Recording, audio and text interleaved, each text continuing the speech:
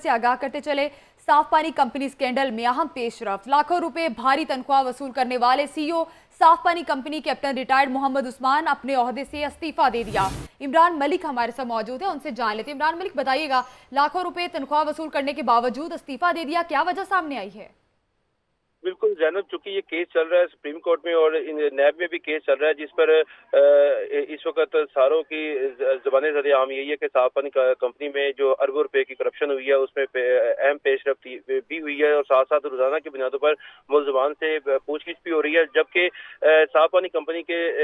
سی او تھے captain retired عثمان جو پہلے ڈی سی لاہور بھی ڈی سی لاہور بھی تھے، ان کو تقریباً ایک سال قبل یہ ذمہ داری تفویض کی گئی تھی صاحب پانی کمپنی کی۔ انہوں نے جب سپریم کورٹ میں یہ واقعہ سامنے آیا کہ جی آپ چودہ لاکھ روپیہ لے رہے ہیں تو اس کے بعد تمام سی او کی جتنی بھی سیلریز تھی ان کی کٹوتی کی گئی اور ان کو کہا گیا کہ تمام سیلریز اپنی واپس کرائیں اور تین لاکھ سے کوئی بھی اوپر سیلری نہیں لے سکتا۔ جس کی بنا پر انہوں نے جو ہے وہ مسافی ہو گئے ہیں اور چیف آپریٹنگ آفیسر کو سی او کا چارج دے دیا گیا جو عمر ملک ہیں وہ دبئی میں پہلے کنسلٹنسی ملک آپ کا۔